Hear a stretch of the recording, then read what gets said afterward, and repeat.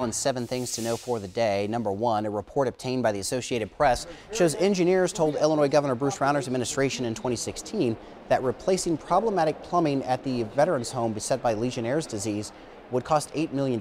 However, a counterpoint released by the Illinois Veterans Home disagrees with that assessment.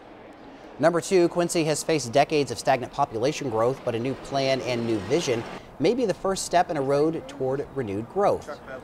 Tonight on KHQA News at 10, Marcus Espinoza will show you what city leaders and influential business owners say has to happen for a new approach to housing development to begin. Number three, one of the best ways to personally affect change in your town is to vote, which you can actually already do in Adams County.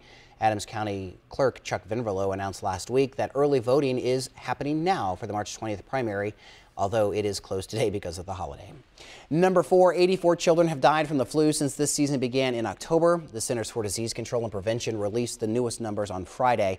In the weekly surveillance report, 22 deaths were added to the flu-related statistics involving kids. Number five, President Donald Trump unleashed a barrage of tweets over the weekends, many in response to Friday's indictment of more than a dozen Russian nationals accused of trying to undermine confidence in U.S. democracy.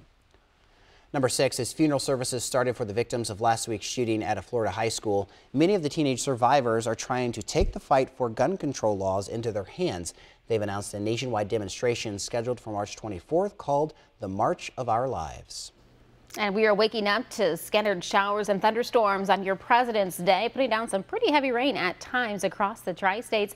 We'll talk about how long this rain is going to last and if there's snow forecasted in the next seven days.